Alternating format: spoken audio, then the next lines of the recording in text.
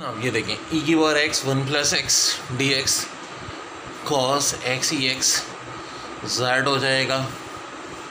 देखो, अब जेड किसको माने? डायरेक्ट इसका इंटीग्रेशन करना है। तो एंगल को मान लेते हैं हम, या फिर अगर ये किसी चीज़ के ऊपर पावर हो, इसको मान लो, ठीक है? ये जब हम इसका डिफरेंशियल लेंगे तो एक्स यू हो जाएगा वी हो जाएगा ई की पावर एक्स तो डेरिवेटिव का फार्मूला लग जाएगा x as it is e की बार एक्स का डेरिवेटिव ई की बार एक्स ई की बार एक्स एक्स का डेरिवेटिव वन तो ये हमारा डी जेड हो गया। चाहो तो ई की बार एक्स कॉमन ले लो। अब सवाल ये पैदा होता है, ऐसा मैंने क्यों किया? भाई, ये मैंने इसलिए किया है कि अब ये पूरी टर्म की जगह यहाँ डी जेड आ गया और यहाँ जेड आ गया।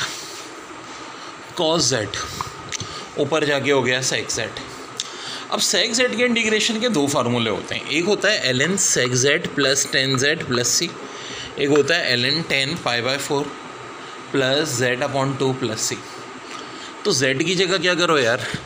जेड की वैल्यू पुट कर दो जो हमने सपोज़ किया था ना एक्स ई की पावर एक्स एक्स ई की पावर एक्स एक्स ई की पावर एक्स आप बोलोगे कि सर इन दोनों में से किस फॉर्म में?